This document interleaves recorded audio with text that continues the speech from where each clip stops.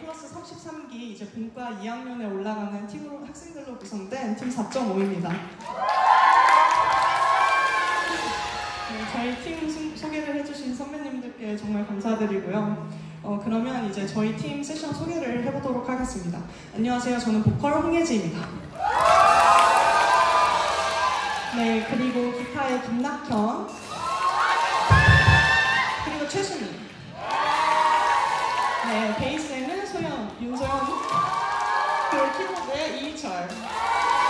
그리고 마지막으로 드럼의 강승아.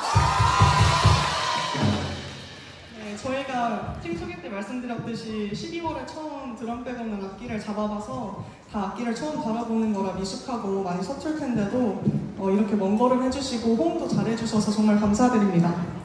어, 아쉽게도 저희는 이제 마지막 곡을 앞두고 있는데요. 어, 네, 네, 마지막 곡도 후렴구 아시면 많이 따라 불러주시고 그리고 호응도 많이 해주시고 박수도 많이 쳐주세요. 그러면 마지막 곡 유나의 비번호 486